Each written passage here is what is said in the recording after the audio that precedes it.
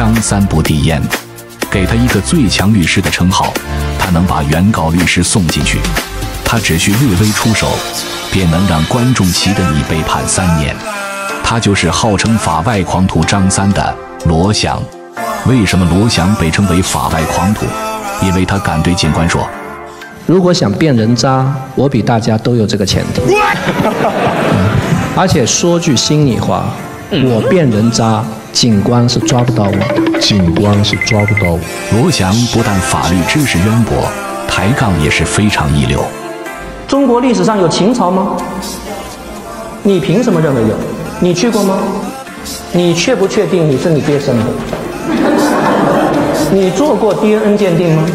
即便现在做过，你确不确认你爹是你爹的爹的爹生的？你也不确。有着专业团队称号的张伟律师表示，如果让我去跟罗翔打一场的话，恐怕我再去学两年半的法律，也逃不过被他送进去的结果。著名评论家麦克阿瑟表示：“我评价过数百部大型纪录片，但唯独罗翔这部。”即使你给我点上三连，我也不敢评价。此话一出，迅速引起世界各地张三的广泛关注。罗翔究竟是谁？为何连麦克阿瑟都不敢评价？